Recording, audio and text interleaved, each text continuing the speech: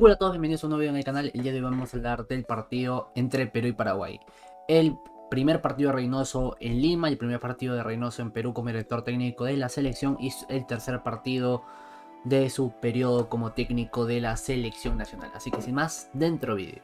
Pues Perú saldría con un 11 con sorpresas, bueno, no tanto sorpresas para el día de hoy, pero por sorpresas que hubo en la convocatoria. Saldría con Pedro Gales en el arco, Miguel Araujo por derecha, jugando por segundo partido consecutivo como, como titular de lateral derecho, Carlos Ajuez que regresaría a la, selección, Alexander Callens, Marco López, Willer Cartagena, Pedro Aquino, José Rivera por derecha, Canchita de 10, Brian Reina por izquierda y Alex Valera de 9, que marcaría hoy, por cierto, el único gol del partido. En general, Perú el primer tiempo no salió muy bien, ni defensiva ni ofensivamente. Perú jugaba a buscar a Brian Reina como fuera posible, siendo la única idea de ataque. Rivera, José Rivera, a pesar de que tuvo un toque, una buena que pelea, no fue un buen partido, realmente ni siquiera apareció y Valera tampoco apareció hasta antes del gol y eso lo puede decir cualquier persona. Eh, a mí no me gustaba Valera antes del gol y en general no me gustó el partido de Valera. Pero ok, como 9 cumplió, marcó, perfecto, pero creo que eso en algunos partidos contra rivales más fuertes o en partidos de clasificatorias no creo que sea suficiente, pero bueno, eh, igual termina marcando el gol y hay que reconocerlo. Pero Perú en primer tiempo lo tiene mal, o sea, realmente Paraguay debió estar ganando en el primer tiempo si no fuera por la gran salvada del capitán Pedro Gales. Defensivamente no nos encontramos, el primer tiempo muy pocos puntos destacables, Marco López por ahí si quieren, Cartagena y Brian Reina, pero por el resto fue un partido bajo en el primer tiempo. Pero en el segundo tiempo llegaría el jugador más importante de la selección a día de hoy, que es Cristian Cueva. Que sí, muchos se van a recordar que se apagó en el partido contra Australia, pero antes de eso y después de eso ha venido en un buen nivel. Y hoy día también, porque hoy día él despertó a la selección peruana. Contra Paraguay se crece realmente el aladino y hoy día frotó la lámpara y le salieron bastantes cosas. Se nota otra cosa que esta selección con estos jugadores que muchos no van a continuar y muchos van a continuar, todavía falta conocerse, ¿no? Se nota que Callens y Ajuez en la salida para pasarse la pelota no conectan muy bien, lo mismo con López y Araujo, o sea, toda la saga central, desde los laterales hasta los centrales, no estuvieron muy conectados. Lo mismo en el medio campo, en la delantera, daban un pase tres dedos filtrado y el otro jugador no entendía. Lo mismo cuando entró juego, hubo un pase ibérico que Iberico no entiende, un pase de Zúcar que tampoco entiende a Canchita y se la termina dando a Cueva. Esas cosas fueron eh, repetidas en el partido, pero tiene algo de sentido porque, a ver, es el primer partido de muchos jugadores que han estado acá, o algunos han regresado. O sea, Ascuez regresa a la selección después de 7 años. Cartagena no es titular habitual, creo que nunca había estado junto a Pedro Aquino durante un partido completo, o al menos de titulares. Brian Reina está en su segundo partido como titular. Canchita hace mucho tiempo que no jugaba en esa posición con la selección. Rivera hoy día debutaba. Valera, bueno, creo que por primera vez le daba la no, sí, por primera vez le daba la confianza a Reynoso como titular, porque en el partido contra Salvador salieron Jordi Reina y Raúl Ruiz Díaz, en el partido contra México dio la Padula, hoy dio la oportunidad a Valera y bueno, pudo marcar bien por él. Pero segundo tiempo mejoraron creo que todos. Marco López para mí fue lo mejor de atrás del partido. Luego Callens estuvo seguro, Ascuez mejoró mucho en el segundo tiempo, especialmente en la salida. Que yo lo dije en el directo cuando me preguntaron por Carlos Ascuez, es un jugador técnico, es un jugador que sabe salir, es un jugador que ha jugado hasta de mediocampista ofensivo. O sea, sabe moverse con la pelota y eso se notó mucho. Yo creo que contra un rival que tenga mejores jugadores para presionar puede sufrir un poco más. Pero es un central que tiene muy buena salida y defensivamente no es malo. Sabe bloquear pelotas, es más, hay una o dos que nos termina salvando poniendo bien el cuerpo para que la pelota le choque pero en general cuando tiene que ir a cortar no lo vi con mucha confianza. Y lo he visto en Vallejo hacer lo que hoy día no hizo, que es ir y cortar, barrerse, llegar bien, eso sí se lo he visto en Vallejo, porque hay que reconocerle las cosas como son que en la Universidad César Vallejo hizo una temporada buena y por algo ha llegado a la selección después de 7 años. Pero hoy día lo noté nervioso cuando no tenía la pelota. No sé si es algo normal en él, como digo, no se lo había visto en Vallejo, pero también, o sea, juez a primer nivel, o sea, nivel Copa Libertadores o Copa Sudamericana, no ha jugado más que dos partidos en el año con la Vallejo. Entonces realmente creo que no había mucho, mucho que considerar ahí. Y a, mí el partido de me gustó en lo personal, a pesar que es un jugador que con lo que sé de él extradeportivamente no es un jugador que me caiga relativamente bien. Pero futbolísticamente hoy creo que hizo un buen partido. Le faltan ciertas cosas que, bueno, obviamente ya debería tener con la experiencia que tiene, y tiene creo que 30, si no es que los va a cumplir. Pero quiero pensar que eso de que no fue a cortar tanto, de que se metía muy atrás, lo hizo por nervios. Ahora, si Asquez es así como defensa, que también puede ser, para mí el libero lo hace perfecto. Creo que esto también lo dijo el Galván, la verdad no estoy seguro porque había presión así de reojo mientras que preparaba lo, lo de hoy, lo que hoy hicimos en Twitch, que fue tratar de clasificar al Mundial con la selección que hoy día, que hoy día convocó Reynoso, o sea, que bueno, que hoy día salió con Reynoso, los titulares y los suplentes. No lo hemos terminado todavía, así que mañana probablemente repitamos eso en Twitch. O bueno, terminemos mejor dicho. Pero también escuché eso de que Juez de Libero sí funcionaría bien. ¿Por qué? Porque es un jugador que no sale tanto a cortar, que no le gusta ser el que quede en evidencia, por así decirlo, y que tiene buena salida con la Pero entonces de Libero creo que no le haría mal en una línea de 3. Pero igualmente Asquez hoy creo que es su primer partido después de tiempo en una línea de 4. Y no lo hizo realmente mal. Y sé que se toma mucho tiempo en hablar de Asquez, pero es que hay dos, dos bandos con este jugador después de este partido. Los que lo han matado diciendo que no, que son chispazos, que no jugó bien, que la gente exagera. Y los que también sí exageran, que son los que dicen que Asquez jugó un gran partido, que fue la figura. Para mí Asquez tuvo aciertos y desaciertos en este partido. Defensivamente no lo tengo muy seguro y un central, especialmente en una selección como Perú, tiene que principalmente defender y luego salir. Pero también es verdad que no defendió tampoco mal. No fue su mejor partido en defensa, lo noté inseguro, lo noté metiendo, metiéndose atrás. Cartagena y Aquino en algunos casos tenían que bajarse en necesidad porque Ascuez solamente retrocedía y no iba a cortar. Entonces, bueno, no sé si habrá sido tampoco una indicación de Reynoso, que también puede ser. Pero se nota por qué lo llamó Reynoso y ya lo habíamos hablado en directo el día domingo. Y para que no digan que lo digo ahora, que hizo un partido decente, que Ascuez es un debe ser uno de los defensas más técnicos de Perú. Tiene buena salida, buen pase, sabe moverla. Y yo creo que más que nada la gente que no lo quiere lo hace recordando el año 2020 y bueno, el descenso con Alianza Lima y las indisciplinas. Porque antes de eso venía en un buen nivel y después de eso creo que también ha tenido un buen nivel. En la media cancha Cartagena y aquí no creo que hemos tenido un partido correcto de 6 puntos, ni más ni menos. Ambos se merecen ser estado convocados y ya que hemos visto que Reynoso tiene la idea de jugar siempre con dos contención, que regrese Tape no significa que uno de los dos tenga aquí, o sea, tranquilamente pueden ser convocados los tres. De ahí que saldría, bueno, supongo que sería Jesús Castillo, que yo lo quiero ver contra Bolivia, porque a mí Castillo saben que es un jugador que me gusta mucho. En la delantera, Brian Reina creo que se ha ganado ir convocado, pase lo que pase contra Bolivia, que espero que también haga un buen partido. Canchita, a ver, demuestra ser de los puntos más altos, pero otra vez a Canchita yo lo que le noto en los partidos con la selección es que es chispazos, ahí sí, o sea que te hace 10 minutos buenos, 10 minutos bajos, luego otros 10 minutos buenos, luego en media hora no aparece, luego te parte te una jugadita y luego te mete una asistencia. Así yo noto el partido de Canchita González. Pero, o sea, no el partido de hoy, sino los partidos en general de Canchita con la selección. Y hoy día noté también, o sea, desapareciendo por momentos y apareciendo en otros. O sea, Canchita es un jugador que te puede no aparecer 20 minutos y te aparece 10, muy participativo, luego se vuelve a apagar, luego te hace una jugadita. Eso lo hizo hoy día, a mi parecer, donde en muchos momentos no apareció. Cuando entró Cueva, sí apareció un poquito más canchito, especialmente cuando tuve la posibilidad de marcar un gol, pero bueno, Zúcar decidió bastante mal. Y Rivera, bueno, veremos qué tal le va en el partido contra Bolivia. Yo no quiero matar a ningún jugador, pero realmente que hizo un partido malito. O sea, la luchó, lo que quieran, pero eso a veces no alcanza. Y con Alex Valera, lo mismo. En el partido no apareció en sí, pero no tiene que marcar. Hoy día marca, marca de cabeza a Paraguay. En un tiro de esquina a Paraguay.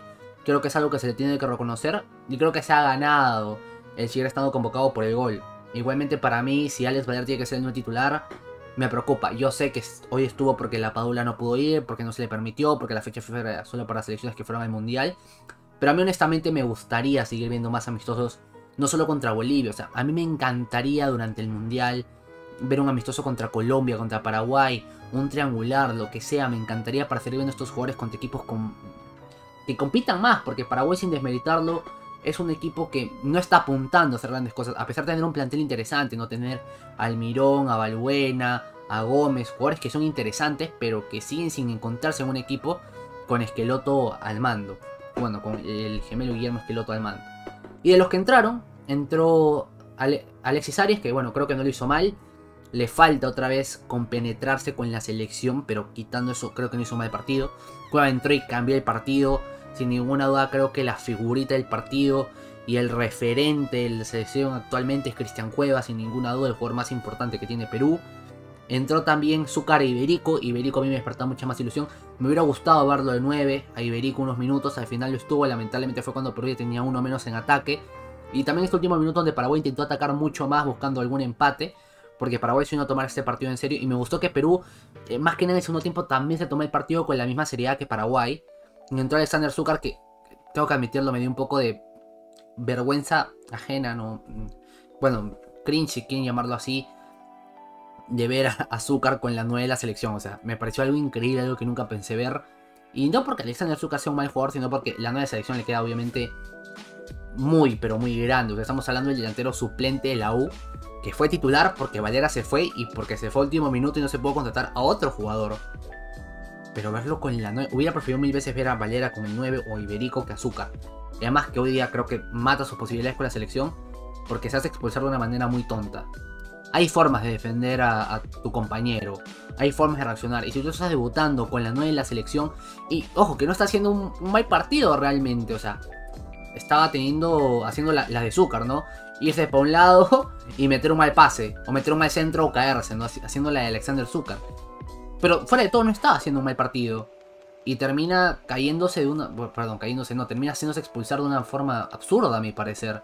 Sin necesidad. También se puede ir expulsado Callens, etcétera, etcétera, pero igual, o sea, lo de Zúcar me pareció ridículo. Lo que sí me agrada de esto, y no porque tengan en contra de Zúcar, repito, es un jugador que a mí no me gusta como titular de la selección con la 9, pero si estuviera suplente, por ejemplo, en Cristal, no me molestaría. Si estuviera suplente en Alianza, creo que también podría ser un suplente que participa. O sea, tiene cosas parecidas al de Rodríguez, y creo que al de Rodríguez tiene más velocidad que Zúcar, pero Zúcar tiene más físico, por ejemplo.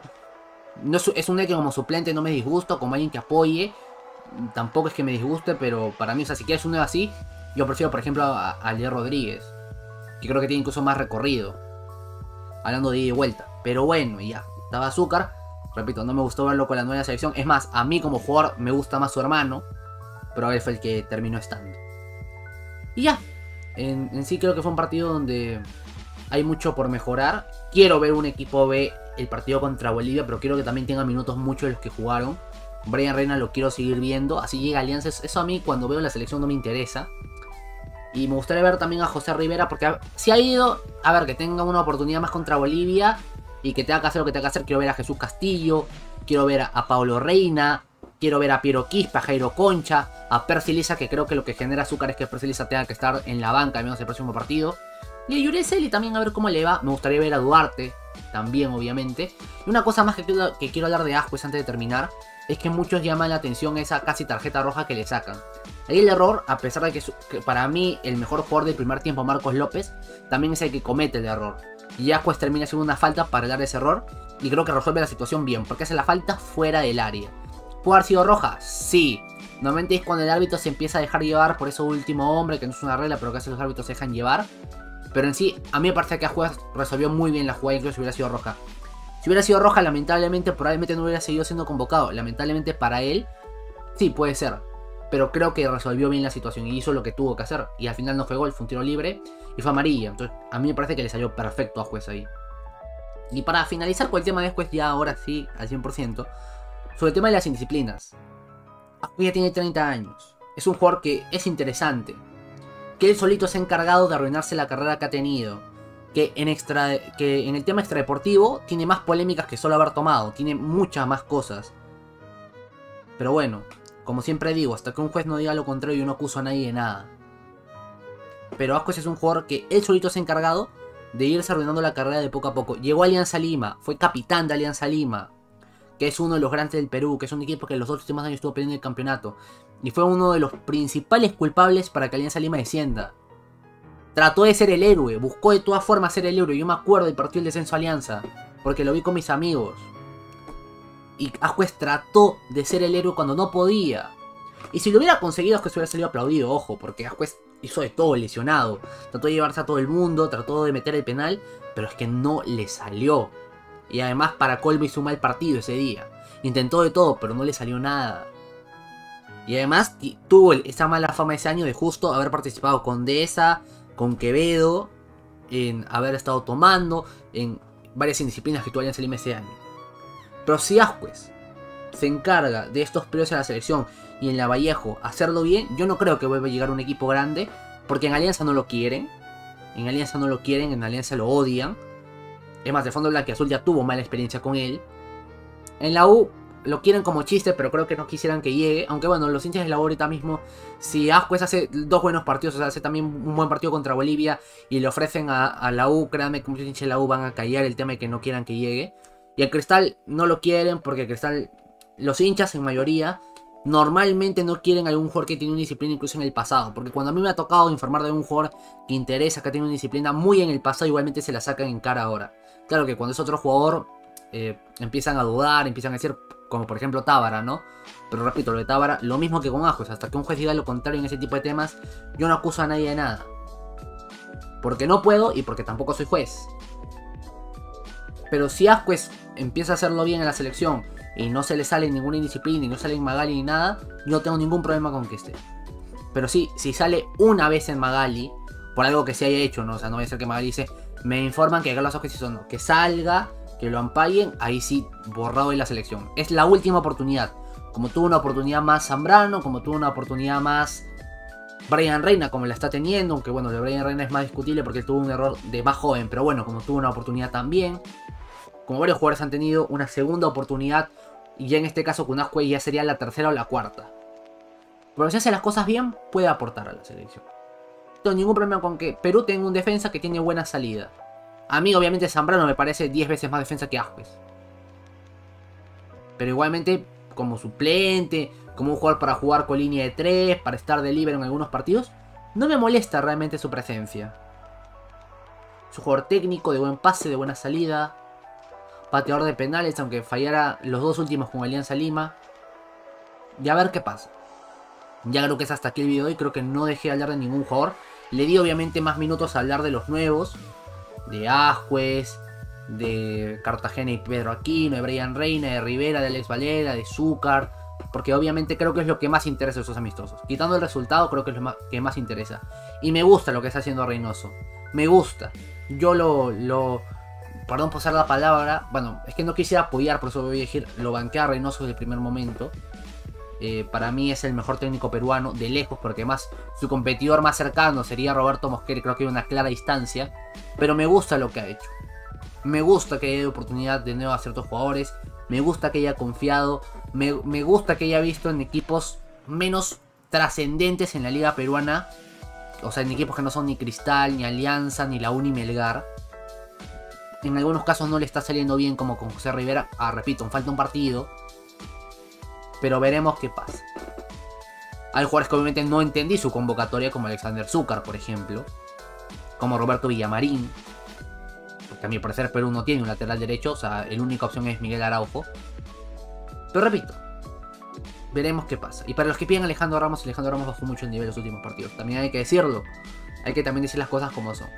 Y bueno, según los que han jugado con eh, Reynoso, con el cabezón Reynoso, Alonso le gusta siempre tener mínimo tres defensas en la saga de, de central. O sea, le gusta tener a un lateral que pueda jugar de central y se puede ser Miguel Araujo o Luis Abraham tranquilamente. Cualquiera de los Yo creo que Luis Abraham no, porque Marco López es dueño y señor de la banda izquierda. Y ya hemos hablado de por qué Marco López mejoró tanto en la banda izquierda, pero realmente me gustó mucho ver que hoy día Marco López sí tuvo la confianza y lo hizo bastante, pero bastante bien. Ahora sí, ya es todo por el video hoy. Me gustó mucho Perú. Me gustó mucho. El segundo tiempo más que nada, que es con lo que más me quedo. Mejoró con Cueva. Mejoraron muchos jugadores. Y ya esto es todo prohibido. Y no bien que me pueden apoyar en Yape, que está acá, en Yape. Y también pueden darle a unirse, que está al costado del botón de suscribirse si quieren apoyar. Es hasta un sol 50 nada más la membresía. Y ya podrían apoyar. Y si quieren apoyar a un nivel mayor, bueno, tienen varias opciones. Así que sin más, nos vemos ahora sí en el próximo video. Bye.